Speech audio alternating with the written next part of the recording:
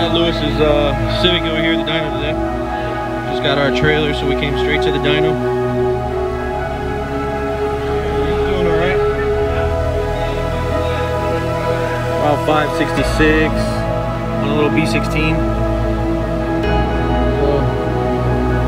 So, see if we can do something else. Right now we're taking the wastegate lines off.